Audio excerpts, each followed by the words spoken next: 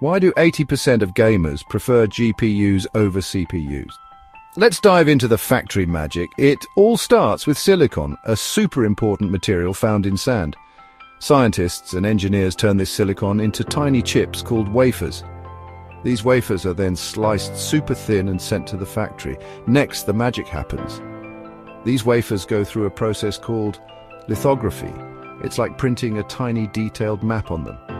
Then they get baked and etched to create complex circuits. Now it's time for assembly.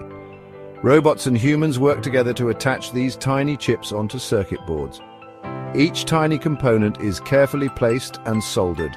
Finally, these GPUs get tested to make sure they're ready for action. They're then packed up and shipped out to stores, ready for your next gaming adventure.